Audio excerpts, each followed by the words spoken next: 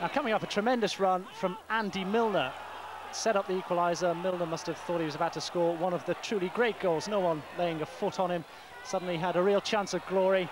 His effort rewarded though when Steve Whitehall followed up. Could have at least gone and thanked him, don't you think? After that.